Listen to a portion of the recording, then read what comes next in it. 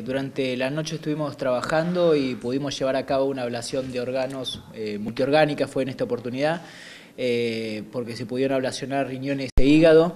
Eh, vinimos trabajando desde ayer a la mañana. Como siempre, lo más importante acá en todo esto es agradecer a la familia y en este caso tengo que agradecer principalmente al donante porque el donante en vida había manifestado que en sí. Así que para nosotros la tarea fue mucho más sencilla. Eh, nos, encontramos con la gata sorpresa de que el, paciente había dicho que sí hacia la donación de órganos.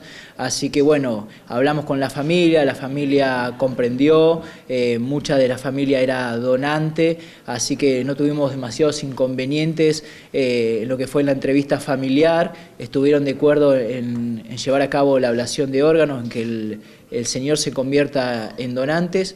Y bueno, empezamos a trabajar de ayer a la mañana y bueno, el, trabajo duró todo el día, terminando hoy a las nueve y media de la mañana, recién cuando partió el avión hacia Buenos Aires con los órganos. Esto no hay que tenerle miedo, esto es lamentablemente cuando llegamos a nuestro fin, nosotros podemos darle la esperanza a alguien más.